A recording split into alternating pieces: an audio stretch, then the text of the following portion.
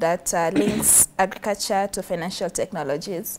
So what we do is we are building a commodity exchange market, which is relatively new in Kenya.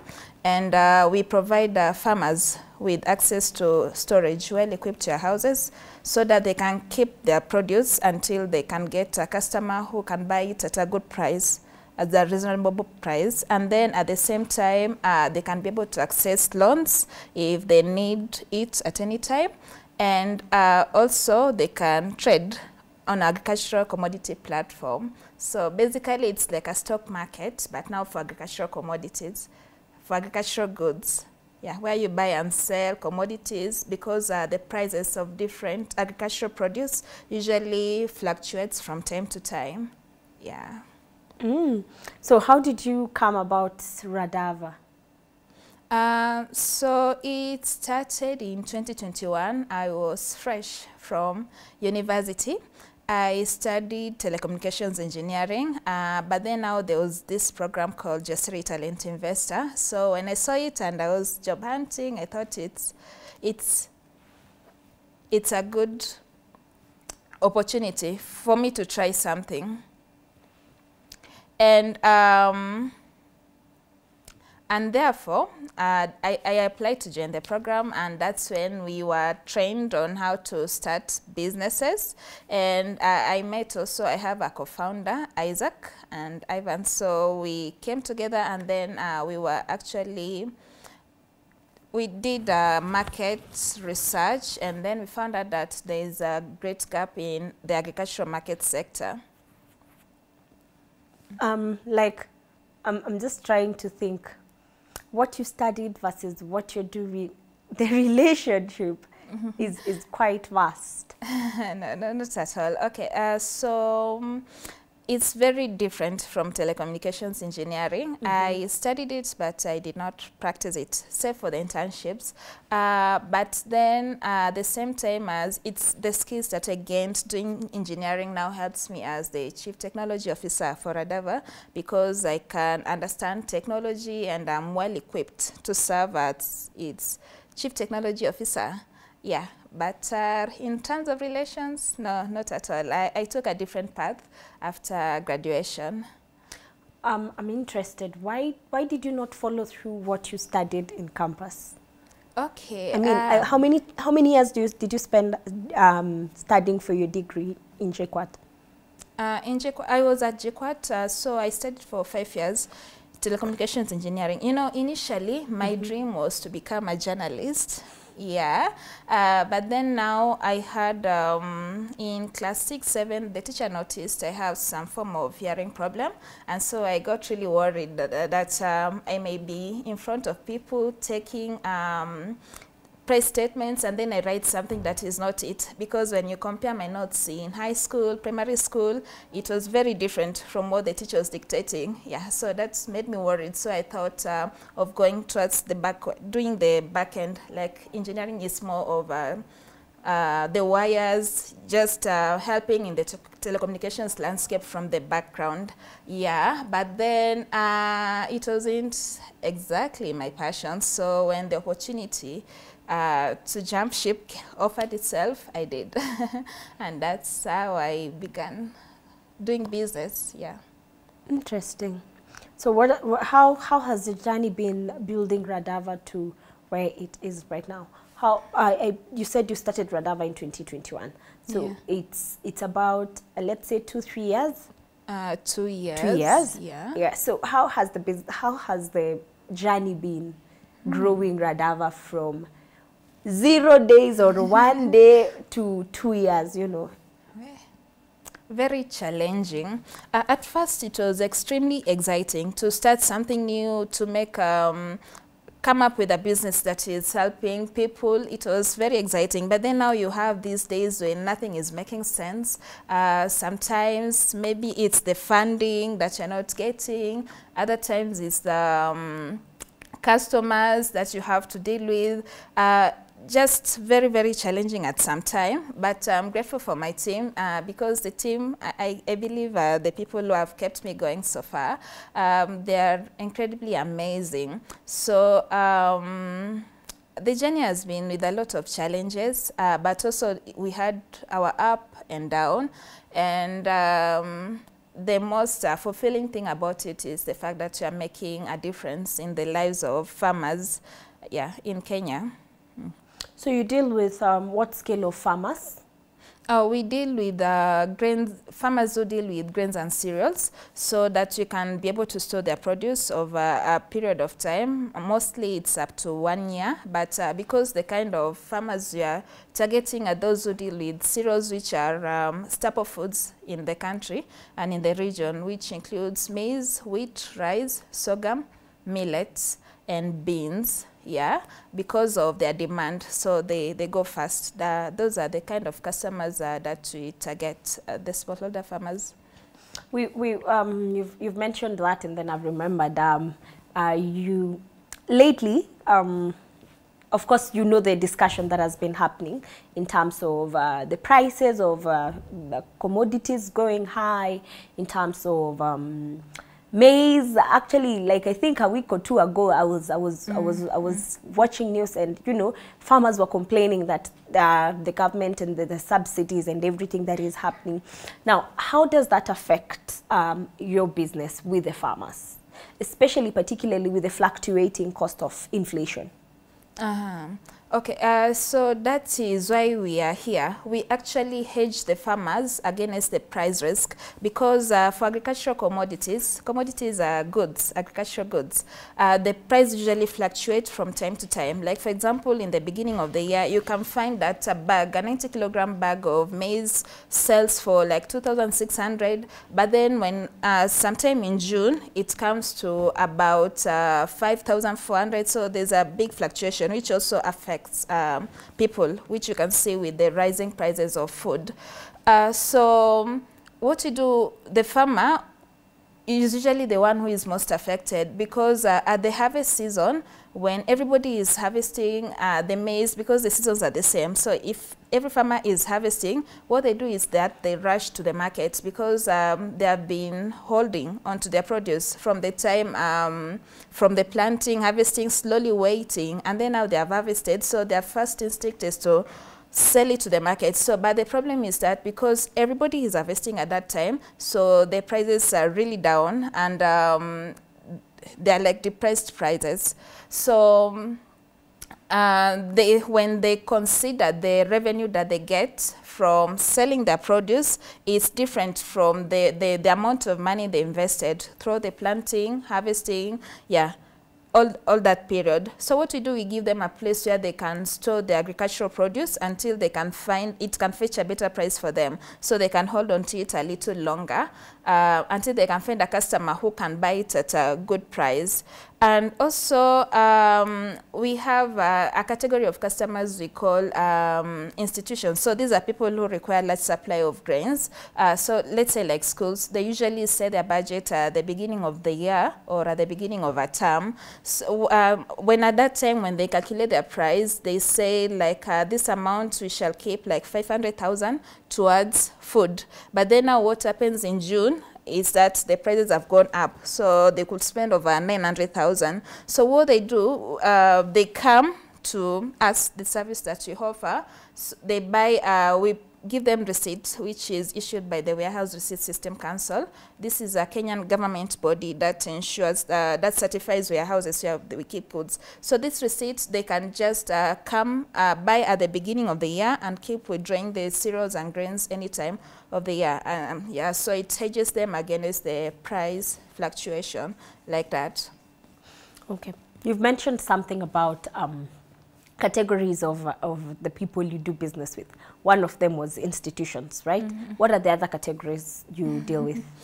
Okay, we have three categories uh -huh. of customers. The first ones are the farmers, mm -hmm. the smallholder farmers who deal with grains and cereals. For these people um, category, they are like our prime customers. So we give them access to storage and help them to get a good market. Yeah, uh, so they can sell their produce at a price that they consider worthy and relevant. And then uh, we have the second category, that's the institutions. Yeah, so these are people like prisons, schools, just uh, um, yeah, institutions that require large supply of grains and cereals.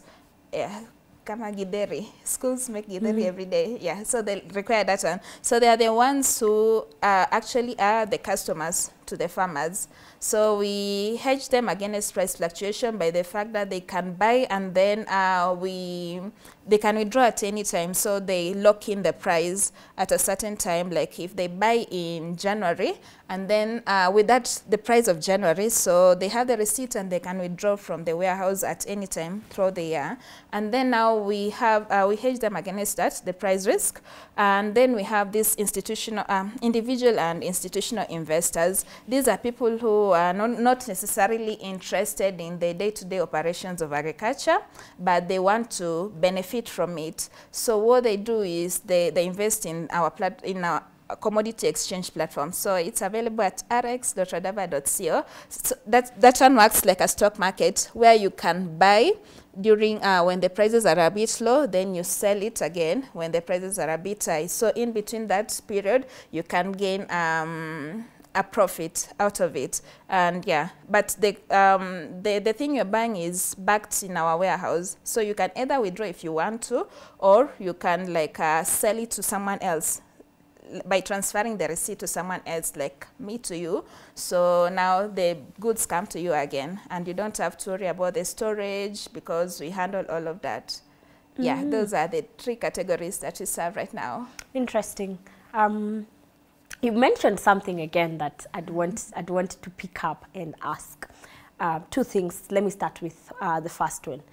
We have seen um, when, let me give an example with when President Uhuru was, in, uh, was in power and he gave a subsidy for commodities, you know, where he gave unga at, I don't know, 90 shillings. So I, I can't remember well how much unga was retailing for because unga had gone quite high and then he gave it, he gave it quite a huge amount of a subsidy, I would say. So that time, farmers, we had a problem with farmers um, hiding their, their, their, their unga because they were like, we bought this, we, the cost of producing this particular bale of uh, unga or particular bale of uh, ma- maize was, was quite high and now you're giving it out at a subsidy. How does that affect you? That was the first question. The other one I'll ask when you're, when you're done with this one. For us, that um, it plays a role, uh, especially, but um, the question will be where the subsidy came from. So from the government, they also buy from the farmers at some time, uh, but then uh, that is not enough. Actually, there are times when there is um, the produce in the in the country, it's not enough, especially maize. So what uh, people dealing in this sector, like us, uh, we do is uh, importation from Zambia coming through Tanzania, yeah, to, to, to meet the demand of the food insecurity. Uh, because uh, the uh, the amount of maize uh, or beans or uh, the cereals that's produced, sometimes it's just not enough for the entire country. So when that happens, normally um, people in this sector usually resort to importing, importing uh, the grains and the cereals, then selling it.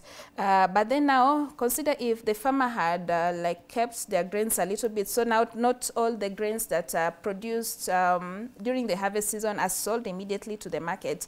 That's why we give them a place to hold on to it. So that not only gives them uh, the hedge against the price risk, but it also ensures that um, the country is food secure because now somebody can choose to sell in this different month, this different months, ensuring that uh, we have a supply throughout the year. Yeah, so um, it's it's affected our business in the form of uh, the, the scarcity, the scarcity of the commodities. So you could see the warehouses were empty completely. Uh, but um, the other result was um, like importing, importing the grains from other nations. Yeah. So, so you help farmers import, Um, in or what role do you play in that? And not the farmers, because at that time they have already sold their produce. So it's like uh, just to supply the people who need the product. Yeah, not exactly the farmers. But if the farmer wants to um, like uh, get the grains, yeah, we can help them with that one too. in, in your opinion or uh, with your years of experience, what are some of the challenges facing smallholder farmers? Uh, the challenge Yes. is um, the most um, is uh, the fact that um, uh, most of them are in the interior of the country, so reaching out to them has been a little bit of a problem, especially the ones who don't have access to phones or yeah. So, but, what we have tried to do is reaching out through the cooperative unions because most of the farmers are part of cooperative society. And then the other challenge is adoption of technology a little uh, because we also facilitate knowing that this farmer wants to sell when they contact us using uh, means either phone or yeah uh, that has been a little bit of a challenge and then um, the other one is convincing the farmer that they can actually hold on to their produce and that they will get a better price out of it. What they want to do is just see the money now, now, now. And then, yeah, but now, now, now is giving you a price that is lower than what you'll have gotten if you held on to your produce a little bit longer. Yeah. So wh- when, when, when you tell them to hold on to their produce a little bit longer, what does that mean for the market? I mean, what does that mean for us consumers w- when, when you tell farmers to hold on to their produce? Uh, it means that you still have the supply. It means uh, you'll have a supply of um, the agricultural produce throughout the year because um, if imagine if the farmers sold at the same time, like all the food was rushed into the market at the same time. Like so, by the end, right now we are in August. By September, the entire grain uh, in Asia it has um, finished Yeah. yeah. and then now what happens from that and because uh, the the planting seasons are in seasons and b- but uh, some the the planting season hasn't even yet begun the harvesting a- as you wait so now that causes now the scarcity of the commodity which causes the food the food prices to to to rise up yeah but then now if they like released in portions in portions in portions it's actually hedging you as the final consumer against that uh, price fluctuation ah yeah that's what it means to you Oh, okay. Now, now, now, now, I, now I get it because I'm wondering. Once they hold back, how how is the how are we the consumers or rather them, uh, you know, the normal people that is Wanjiku and the, and the rest, how they're able to, what's the cycle? How what's the cycle looking like?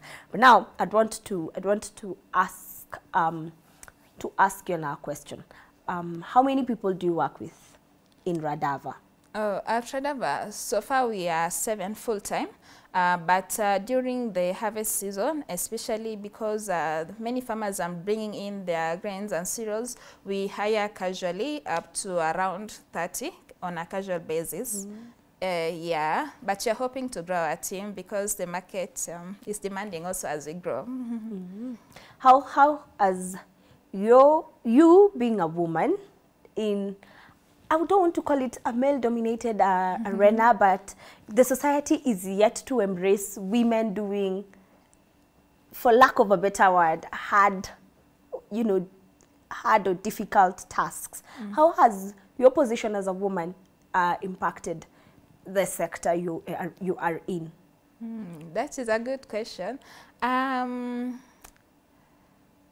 hmm. The good thing is that uh, me as a woman, I've always been in a male-dominated thing, beginning with my course, which I studied. We were around 10 ladies in our class. We, we are of about 50. so I got to hmm, build my strength over there. uh, in our engineering class, we were 10 ladies in a class of 50. So um, understood that one. But uh, yeah, the commodities market is majorly male dominated. Uh, so what I have to tell myself always is that I can do it and uh, also to believe in yourself, yeah, and not to see like, uh, you know, sometimes when you try to see obstacles, you can actually see them. So like, I just do my thing. And if people are judging or something, uh, that's now, that's their path. For me, uh, I'm just focusing on what I need to do, what I need to get done. Yeah, but uh, sometimes there are like stereotypes, like a woman, uh, I think you should get yeah, something more masculine. Or yeah, yeah, yeah, yeah.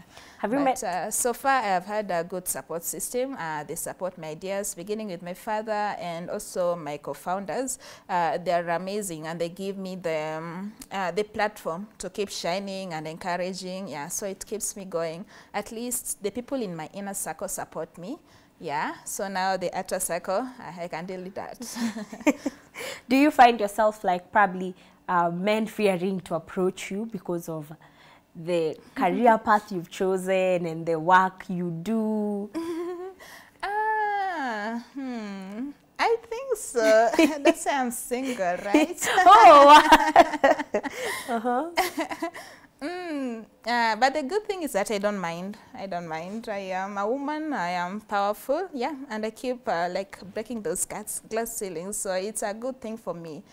And um, yeah, the right one will come along, I'm sure. Who won't be intimidated by you, of course. Yeah. So, what are some of um, the challenges you've experienced in your line of work?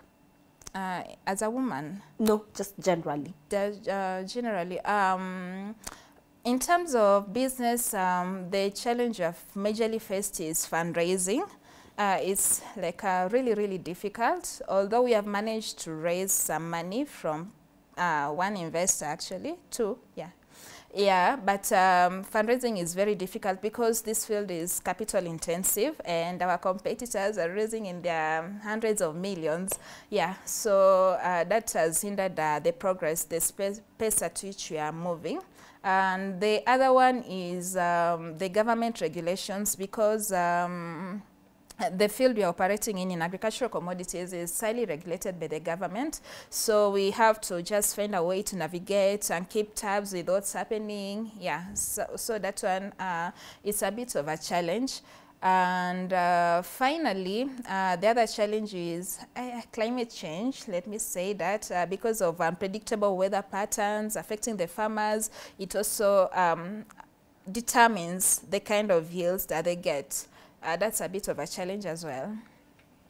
So what are some of the um, lessons you've picked along the way um, as you do business? Mm -hmm. uh, the lessons I've learned, um, first, it's good for a business person, it's good to have a co-founder. At least uh, they keep things going. At first, uh, is not the first business I began. So I previously had another one called Subscribers. I did it alone, and uh, yeah, it didn't pan out. But uh, when I got, when especially when you get a good co-founder, things are becoming very like much much easier. But because you you can be in multiple places at once by sending your co-founder is doing this as I am doing the interview so they can keep the business going as you do something else yeah and um, I've also learned to ask for help when you need it uh, not to be afraid of asking for help, especially from people who have been through it before.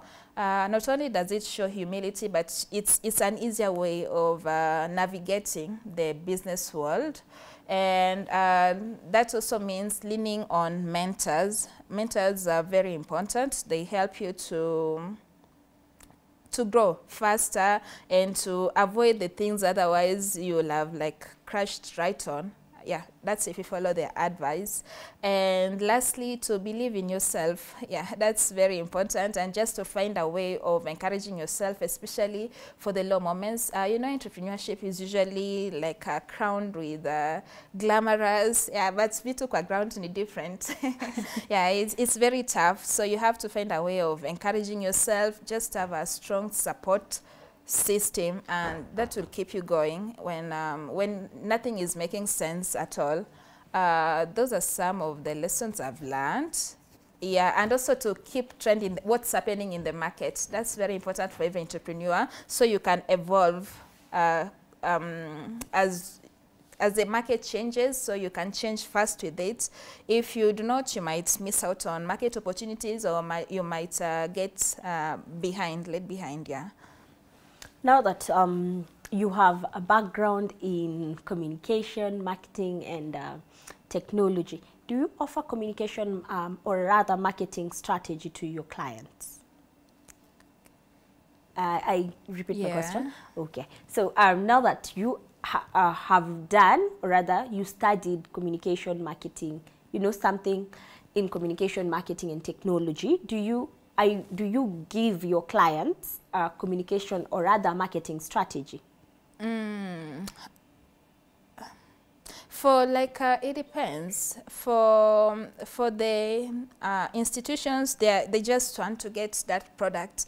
Uh, so for them, they don't need a marketing strategy for for the um, investors, the uh, the institutional investors who are investing in the commodity exchange market, uh, marketing strategy no not, but we provide uh, real-time market information. So we provide them with the historical data of um, how the grains and cereals performed for the last four years so they can see in form of graphs so they can see how the trend is. Then with that, we advise them on uh, when is the right time to buy and when is the right right time to sell for if you're, you are going to get a good return. Yeah, so like that. Uh, for the farmers, we actually help them to get uh, the, the customers themselves, but we also provide them with uh, training on how to interpret the market. So the, the retail market information, it shows them, uh, we have a system called Price Flow. So this one in, a, in shows uh, real-time market information across the country for different grains and cereals. So we train them how to use that so they can know like maize in Nairobi at Nyamakima market, today it's going for this price. They can make informed decision if they want to sell uh, this is the, they can see how different markets are performing, so they can simply sell it to, to this market instead of just rushing to their local market, which is usually the case, like rushing into the market that's there. Uh, we show them the prices across the country, so they know if I sell my produce in Mombasa, right now I can get a better return compared to selling it here in Kitale. Uh, yeah. And also we reach out to them because we help them to find buyers. So when they have kept the produce in a warehouse. Uh, we call them, and uh, when we find a buyer, let's say uh, the farmer brought their produce and then they said, I'm not willing to sell less than 2,400 per bag. So we ensure that's recorded and we ensure that uh, when we get someone who is uh, willing to buy above that price, we call them and ask, yeah, we've got this person, they're buying at 2,600 or 2,800. Are you willing to sell? Yeah, like that. Oh, amazing, amazing. That's quite nice. Um, as we almost come to a conclusion of this of this um, um, discussion, I'd want to ask, what are some of the current marketing trends happening in the agribusiness sector that you would mention? Marketing trends. Mm -hmm. in our sector. Yes. Okay, so in the agricultural space, uh, the marketing trends has mainly been uh, in form of e-commerce, where there are many platforms that are coming up where they're linking sellers to, to, to buyers. Uh, that's one, one thing. And then there's also the, um, uh, there, there are also other um, businesses that are um, buying, buying, buying directly from the farmer. But then now the problem with that is they cannot buy everything from every farmer. That's why we provide them with storage where they can hold on to it. Another trend is digital marketing, which is very important here. Uh, the moment you put out, you are selling this and then you amplify it with a page, it's easy to, especially on social media, it's easy to get a customer yeah, but um, from what you have realized, in most of them, uh, most of the farmers we reach out to are not on social media. Uh, the ones who are, are traders and middlemen uh, who usually try to buy from the farmers at really depressed prices. Yeah, so if a farmer can put their produce out there and amplify it in, on social media platforms like Facebook, especially Facebook and Instagram to some extent, but especially Facebook, it's easier for them to to get to get a buyer. Yeah. Mm. Okay. So finally, what are your what are your aspiration in terms of business and as a person? Your aspirations in terms of business and as a person. My Yes, your future aspirations. Oh, Sorry, yes, future your future aspirations. Okay, so uh, for Radava Mercantile, we are intending to um, reach out to 500,000 farmers, not just in Kenya, but in the whole of Africa, because what we're trying to do is connecting a chain of warehouses, not just in Kenya, but in East Africa and the whole of Africa, such that when the farmer deposits their grains and cereals in, av- in um, the warehouse in Kitale, that's where we are primarily based, and then they get a buyer who is maybe in another country like Zimbabwe. The buyer can simply withdraw the same quality and quantity from the warehouse in Zimbabwe, yeah, by just showing the receipt that you offer digitally, yeah, so that uh, to, to enhance cross-border trade among the nations. That's one of our biggest goal, and also to um, that in this in the process to help them to get really amazing prices for them. And we are also intending to trade a lot of commodities uh, to be the market makers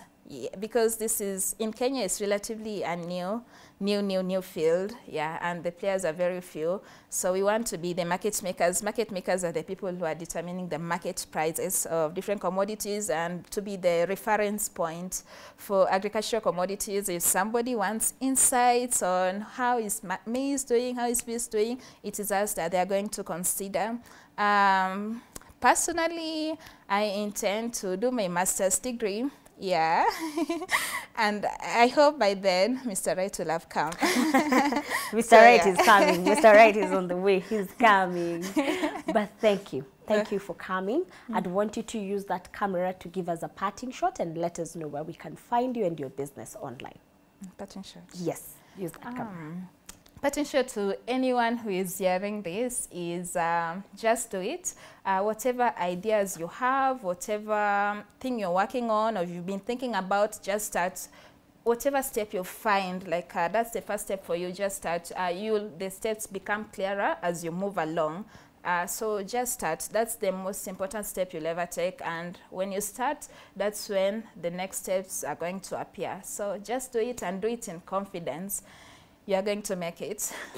Nice. Thank you. Thank you, Josephine, for making time for sharing insights on um, agriculture, business. You know, it's, it's not every day that people get to have these discussions. We really appreciate what you're doing as a woman in that sector and, you know, embracing, you know, your womanhood, your femininity, and just being able to deliver.